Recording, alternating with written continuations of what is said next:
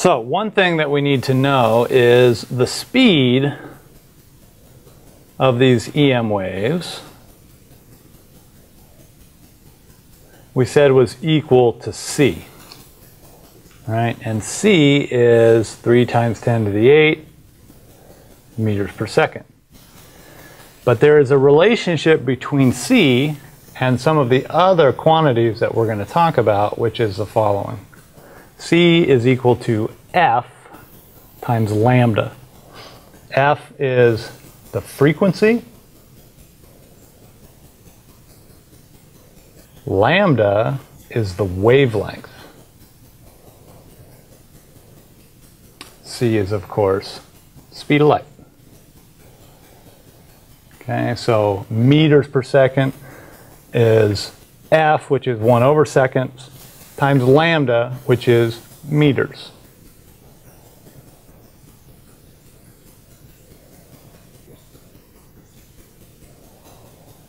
Okay, so that's the relationship that we're dealing with.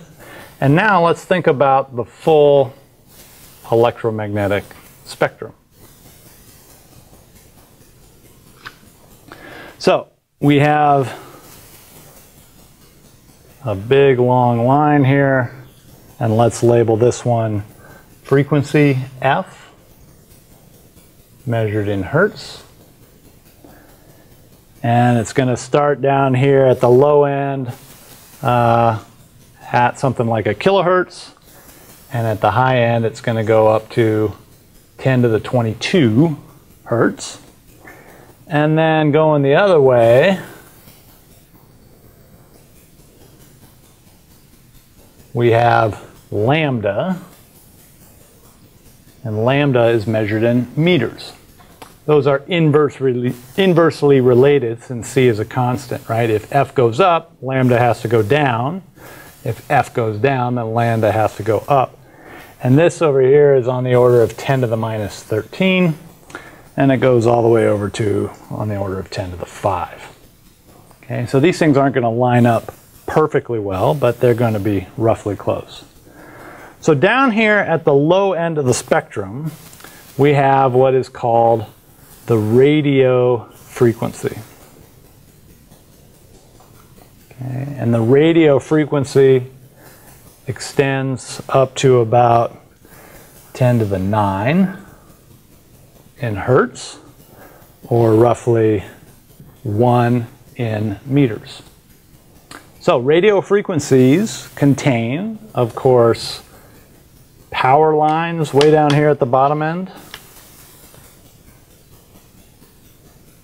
AM radio, FM radio, and television. Okay, these are all operating in the radio frequency. The next region is called microwaves. And microwaves are, of course, like your microwave oven, but also your Wi-Fi signals. And this is going to go up to on the order of 10 to the 10 or 10 to the 11. Okay. So this is what we talked about in class. People are a little concerned about cellular phones and Wi-Fi signals because it's really close to the same frequencies that you use for your microwave oven to heat your food. After that, we get uh, infrared. Okay, infrared uh, goes up to about 10 to the 14, 10 to the 13, 10 to the 14, somewhere in there. And then after infrared, we get to visible. And visible goes from 10 to the 14 up to about 10 to the 15. If we keep going to higher frequencies, we get to UV. UV gets up to about 10 to the 16. And then we get to X-rays. X-rays go all the way up to about 10 to the 19. And then the very last bit is something called gamma rays. And gamma rays can go as high as 10 to the 22. So infrared, that's stuff like heat lamps. Visible is, of course, the sun. UV would be black lights. X-rays you get when you go to the dentist. Gamma rays you only get from objects like quasars. Okay.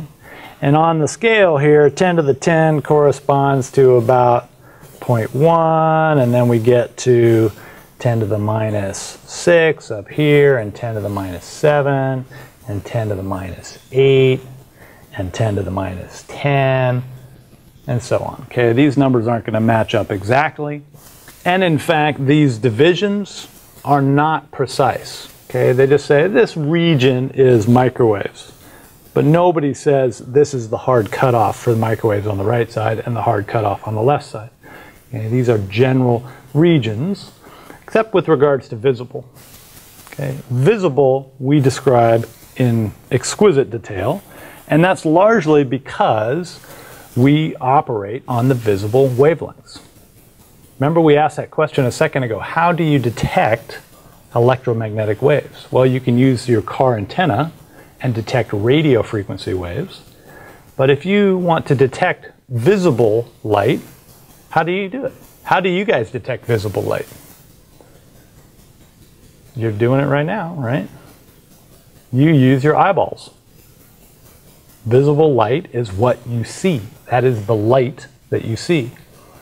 And it's sort of interesting that there's this huge range available and it's all electromagnetic waves, all the way from gamma rays down to radio frequency waves. It's all the same stuff. It's all electromagnetic waves. But we only detect visible, which is a really small portion of the spectrum. If somehow you could detect UV and infrared and X-rays and microwaves, you could see a lot more of what's happening in the world. And in fact, you're familiar with one area, which is this right here infrared. Because you've all seen the Arnold Schwarzenegger movies where they use infrared goggles, okay, which is adapted from the military. And the idea is you can detect infrared waves, and if you have a special device, infrared goggles, you can turn it to visible. And so now you can see things out there that are emitting infrared light, even though they're not emitting any visible light. And this is kind of weird, right? Because if we turned off all the lights in this room and turned off the board, you guys would be in the dark. And if I looked at you, I can't see you. But if I could look at you with my infrared goggles, all of a sudden I would be able to see you. Because as humans sitting here emitting light it's in the infrared region. You're at a temperature of 98.6 degrees. You are emitting light that is about 10 microns long. And so with my goggles, I'd be able to see you. Maybe I'll bring some in. We'll try that sometime. That'll be good. Okay, questions about this electromagnetic spectrum? All right, there's one other point that I wanted to make, and this is something that we're not going to see a lot of in this class, but I wanted to give you a taste for where you might be going in your physics education, which is this idea of quantum physics. Has anybody ever heard of the wave-particle duality in quantum physics? Okay, there's this notion in quantum that everything behaves like a wave and a particle simultaneously even things like electrons, they're not really just point particles, they also have this wave-like property to them. And it turns out that when you're looking at this end of the electromagnetic spectrum, everything behaves like waves. Everything looks like a wave. It doesn't look like a particle. But up at this end of the spectrum, everything behaves like a particle. It doesn't behave like waves. So gamma rays really act like little tiny bullets, little particles just flying through the universe. It's very hard to discern any wave-like properties at this end. And it's very hard to discern any particle-like properties at this end. So at either end you have waves over here and particles over here. But where we sit, in the middle, in this visible spectrum, light acts like a wave and a particle. And this is the basis for the wave-particle duality. And light in this region has been shown to behave like both simultaneously. Okay, depending on how you design your experiment, you might look for the wave properties.